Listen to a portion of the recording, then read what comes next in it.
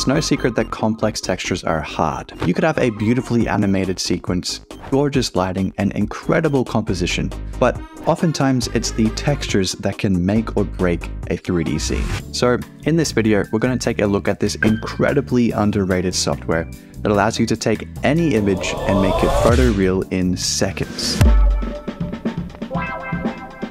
When we're talking about textures, the main problem comes when you're needing to create a PBR texture set. Each of these textures are derived from the diffuse, or in layman's terms, the full color image. But therein lies the problem. How do you create all these textures from a singular image? Well, you could spend some money and buy Photoshop, use their toolset and create each of the PBR textures needed.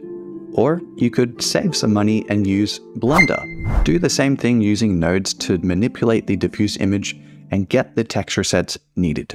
However, both of these options are pretty time consuming and not very intuitive. Lucky for us, there's a free to use software that does everything I just mentioned, and it takes literally seconds to create fully fledged PBR texture sets.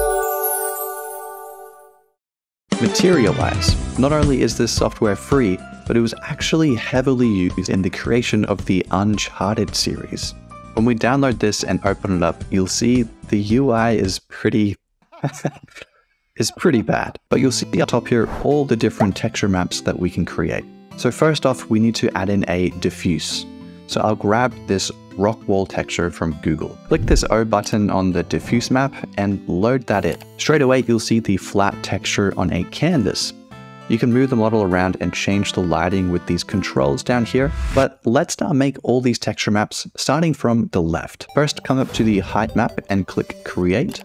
This window will pop up here and there's basically four sections that we want to take note of. We've got the height reveal slider that allows us to see the height map we're creating. There's the weight, the contrast, and then the final sliders at the bottom. You can play with each slider individually, but honestly, the presets are pretty good. Once you're happy with how the texture looks, you can come to the bottom and press set as height map. Now, each other map here is essentially the same thing.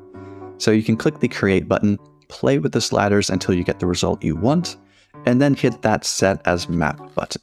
Once you have all your maps created, you can click this show full material button to preview your texture set. And just like that, you have an amazing full PBR material with basically no effort at all.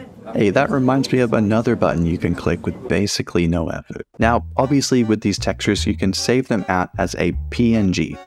Make sure you've clicked the file format PNG and click the S button on each texture.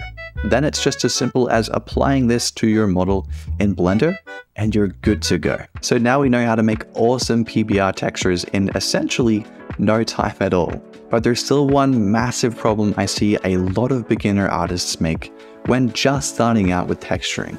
And if you'd like to fix that, you'll want to watch this video right here.